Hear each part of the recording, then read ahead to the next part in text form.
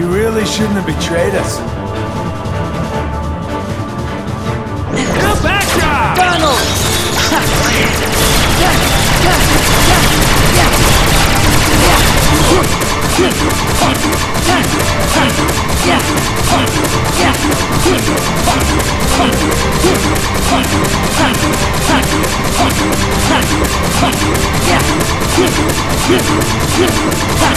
I lost.